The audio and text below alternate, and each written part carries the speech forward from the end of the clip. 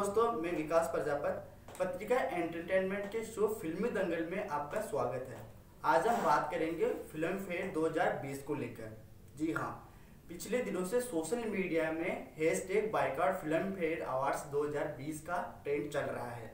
जी हाँ social media पर हर कोई इसको लेकर बात कर रहा है। आइए जानते हैं इसके बारे में।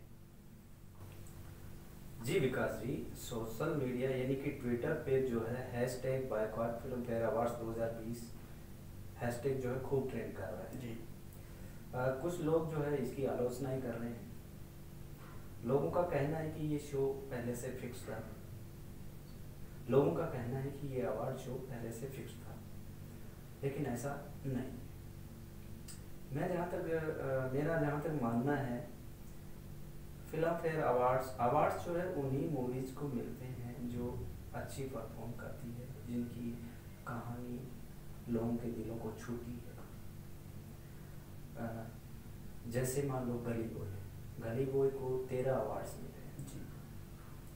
तो लोग इस बात को लेकर के नाराज़ हैं कि गली बॉय को ही अकेले को तेरह अवार्ड्स मिले तो मेरा मानना है कि गली बॉय इस अवार्ड्स की हकदार थी।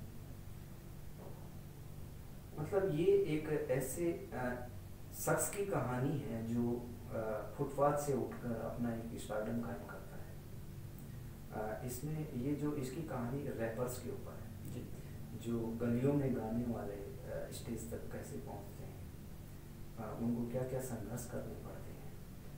रणवीर ने जो है रैपर्स का किरदार बखूबी निभाया। आलिया भट्ट का एक्टिंग तो शानदार है ही। और सबसे बड़ी बात यह है कि गली बॉय को ऑस्कर में नॉमिनेशन मिला था, बिल्कुल। अगर गली बॉय को ऑस्कर में नॉमिनेशन मिला है तो ये ज़ाहिर सी बात है कि ये मूवी अच्छी है। अगर दूसरी इसके कंपटीशन में कोई मूवी होती तो उसका भी ऑस्कर में नॉमिनेशन होता। फिर अगर उसको अवार्ड नहीं मिलता तो ये बात कुछ मायनों में सही कहा, कही जा सकती थी। लेकिन अब आप देख लीजिए। हर फ़ील्ड में इस मूवी ने अच्छा किया बिल्कुल। लोग लोग लोग तो ये भी कह रहे हैं कि आ, इसकी जूरी में जो है करण जौहर हैं अश्वनी अय्यर हैं फरहान जोया अख्तर हैं कि इन लोगों के और और भी कई सदस्य हैं। इन लोगों के इंटरफेयर की वजह से मतलब जो है ऐसा हुआ है। लेकिन ऐसा नहीं। तेरह अवार्ड्स प्राप्त करना कोई छोटी बात नहीं। और अकेली गली बॉय को ही अवार्ड्स नहीं मिले अदर फ़िल्मों को भी अवार्ड्स दिए गए आयुष्मान खान, आयुष्मान खुराना की फ़िल्म आर्टिकल पंद्रह को भी अवार्ड मिला है। वही चक्की पांडे की बेटी अनन्या पांडे को भी बेस्ट डेब्यू एक्ट्रेस का अवार्ड मिला है। इसके अलावा और भी कई लोगों को best actors directors songs writers इनके अवार्ड मिले हैं। ये ज़रूर होता है कि किसी भी अवार्ड समारोह के बाद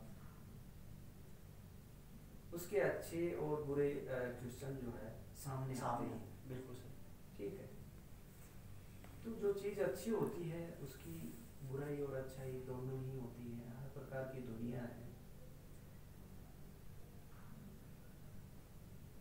बाकी अवार्ड शो तो उसी को मिलता है जो रियल है।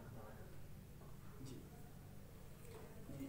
आगे अगला सवाल आपका ये है कि जैसे सोशल मीडिया में चल रहा है कि करण जोहर बॉलीवुड का बॉस है मतलब हर कोई मतलब उनको नाराज़ देखना नहीं चाहता मतलब नाराज़ करना नहीं चाहता, क्योंकि उसको आगे जाके बहुत महँगा पड़ सकता है।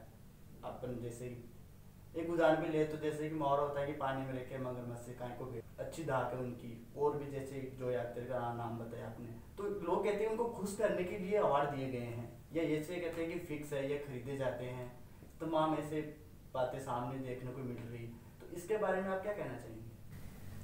विकास जी, मैं आपकी इस बात से पूरी तरह सहमत नहीं हूँ। हालाँकि ये सवाल उठते ही रहते हैं कि अवार्ड्स खरीदे जाते हैं ये होता है वो होता है कई बार सामने आया है। लेकिन मेरा मानना ये है कि ज़्यादातर ये सही होते हैं। ऐसे तो मतलब जैसे लगा लो अभी आप आ, आपके ओस्कर में जो है दक्षिण कोरियाई फ़िल्म पैरासाइट पैरासाइट को मिला है। उसको ओस्कर मिला है। अभी सोशल मीडिया पर तरह तरह की प्रतिक्रियाएँ देखने को मिल रही है।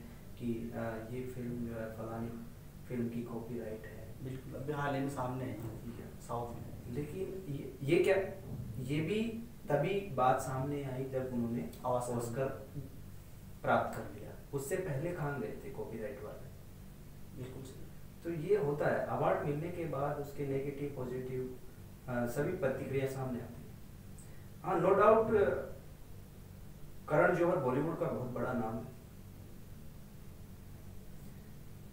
लोग कह रहे हैं कि करण करण जौहर को कोई नाराज़ नहीं करना चाहता।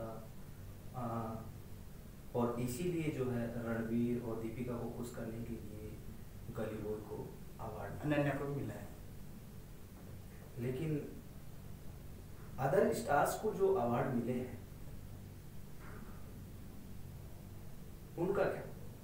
क्या उनके बॉस उनके भी कोई बॉस है जिनको खुश करने के लिए ऐसे अवार्ड दिए गए? ऐसा नहीं है। जिस फ़िल्म की स्क्रिप्ट अच्छी होती है, जिस अभिनेता की एक्टिंग अच्छी होती है, उनको अवार्ड एंटरटेनमेंट से जुड़ी अन्य खबरों के लिए लाइक शेयर एंड सब्सक्राइब करें हमारा चैनल पत्रिका एंटरटेनमेंट साथ ही कमेंट बॉक्स में अपनी सुझाव देना ना भूलें।